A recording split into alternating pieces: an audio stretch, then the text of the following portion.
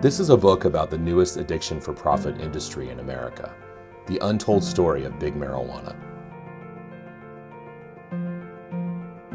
I'm bearing witness. I'm testifying to what I've heard from people all across the country.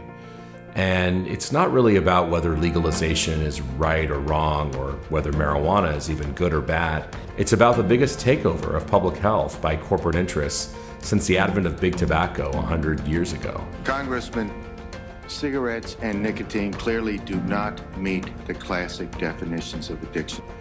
And I think it's time we hear the story.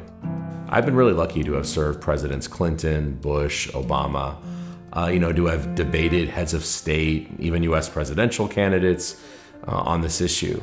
But nothing could have prepared me for what I learned when I wrote this book. Right around the winter of 2018, I started hearing in succession from people all across the country about their experiences with this industry.